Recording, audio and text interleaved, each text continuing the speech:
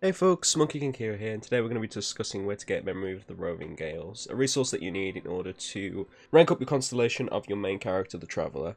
Uh, there are three places that you can get this resource from, uh, one being Archon Quest Rewards, which are Archon Quest Rewards, uh, the other one being an Adventure Rank Rewards, and the third and final one, which you can actually get without having to rely on random crap, is the Souvenir Shop. So I'm going to take you to the Souvenir Shop now which is in Mondstadt's main thing, and the souvenir shop is just down here. So you see this little gem icon? If we go to here and enter it, browse items. If I scroll down, there Memory of the Roving Gales, which costs 225 of this resource here, Anemo Sigil, in order to buy it.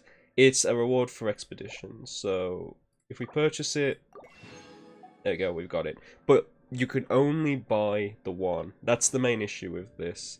Uh, so like I bought that one now, it will never restock. So now the only way to get other items of this type is to essentially pray for random luck during a lot of quests. Usually when you go into a quest, it will tell you the rewards you'll get. Like here, if you see a uh, Memory of Roving Gales, then you can basically get it and rank up your character.